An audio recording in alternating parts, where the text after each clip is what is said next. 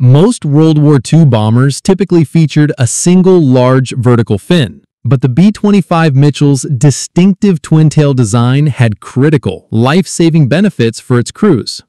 When a twin-engine medium bomber lost one engine, the resulting asymmetric thrust could cause dangerous yaw.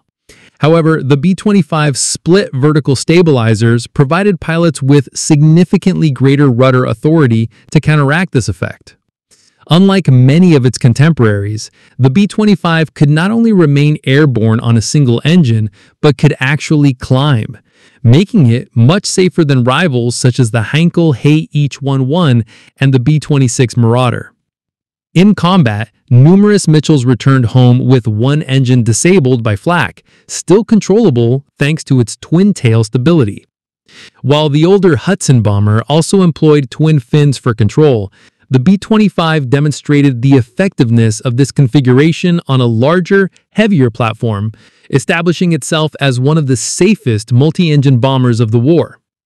Want to know how the B-25 evolved from vulnerable bombers to apex predators? Check out the related video below.